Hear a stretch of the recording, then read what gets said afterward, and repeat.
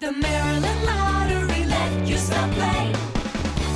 Hey there, Maryland. Matt Whiteson from 98 Rock here. Let's get your pick three numbers. Good luck. Started off with a zero. Up next, eight. And finally, four. Recapping your pick three game, zero, eight, four. In a moment, the pick four game, but first, the Maryland Lottery has a new scratch off game you'll really fall for. Play Plinko scratch offs and follow the path to cash for your chance to win $30,000 instantly.